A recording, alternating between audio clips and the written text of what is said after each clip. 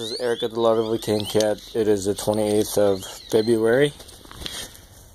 And it's snowing in Oklahoma. So, anyways, I wanted to make a quick video of this gun. Um, didn't want to post so many pictures on Facebook. But uh, only thing I see as far as wear is that little small nick right there.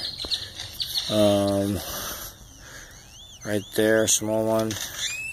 Not even a barrel tip wear on it.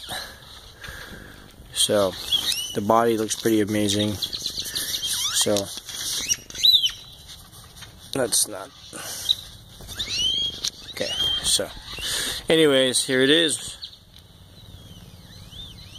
Uh, a little nick right there on the ASA.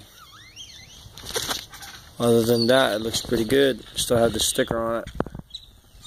So, little nick right there.